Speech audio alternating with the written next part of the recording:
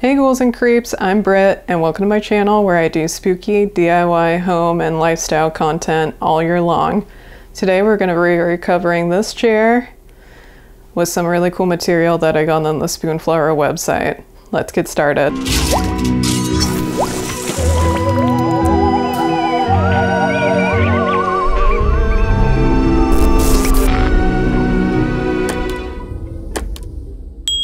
Before we get into the deconstruction phase for this project, I always like to take a variety of photos with captions to refresh my memory on how to put things back together.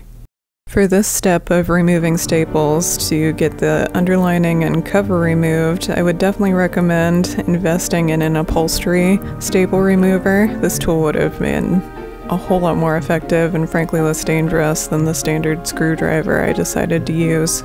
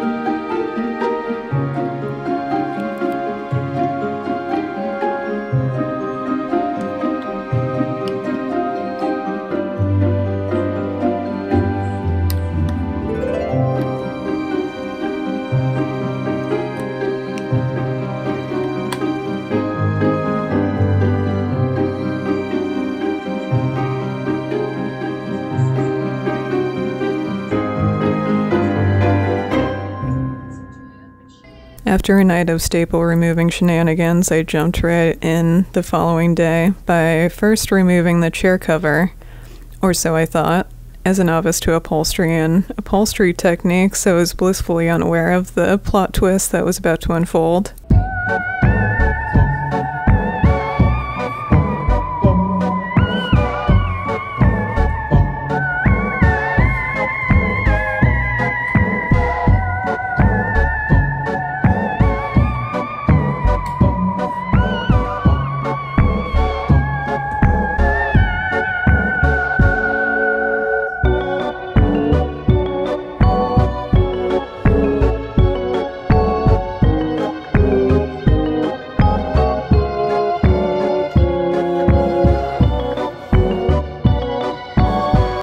Because the underlining flap was so thin, this made the staples more flush with the frame of the chair, making it very challenging to get under them with the screwdriver. This is when I decided to go get scissors to cut the material around the staples to be able to remove the cover.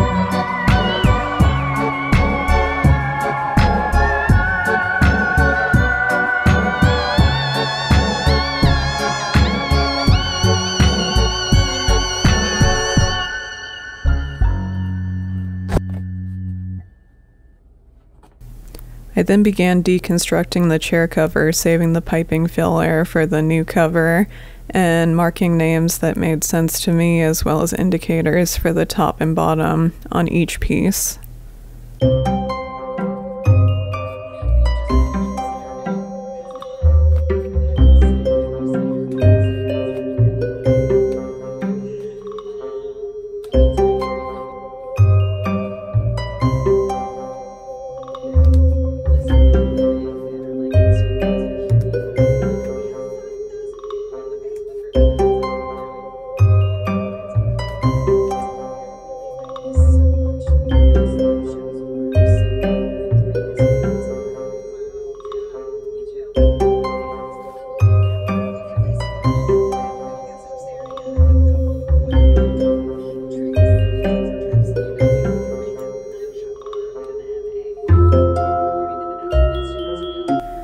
For those of you interested in ordering this material for your project, the material name is Watercolor Skull Moth Damask by the designer Rebelform.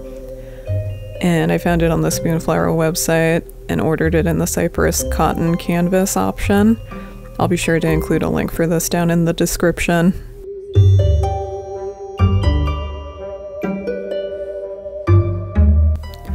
Now that we have the cover deconstructed, I started by marking the centers of my pieces since the material that I'm using is both large and directional. I wanted to match both my individual pieces with my print center, as well as attempt to make the print appear seamless between sewn together pieces of my cover.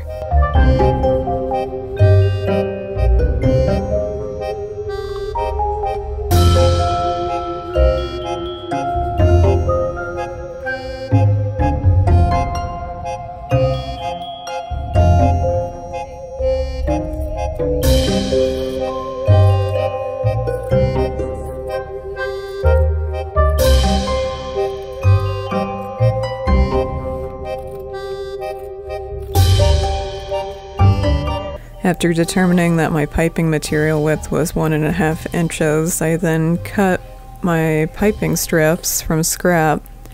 This can be done on bias or straight of grain.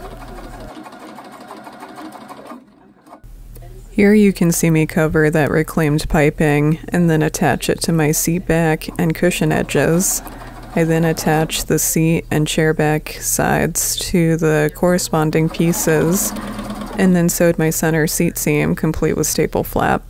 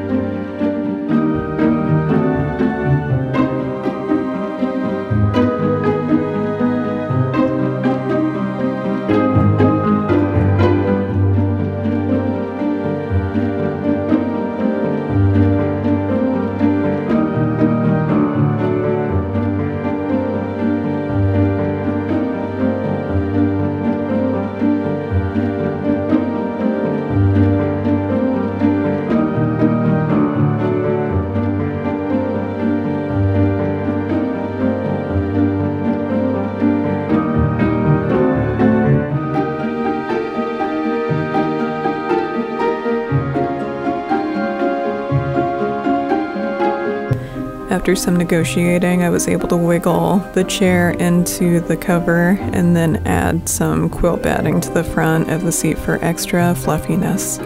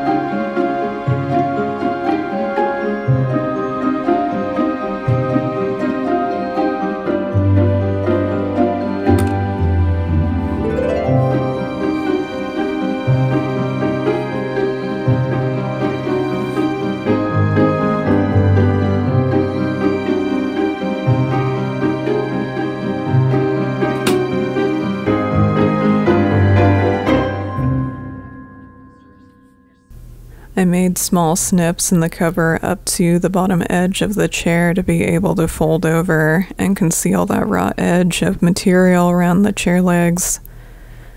I then stapled the cover to the chair frame, pulling the cover taut but not strained. Once finished, I then attached a new piece of underlining to the bottom.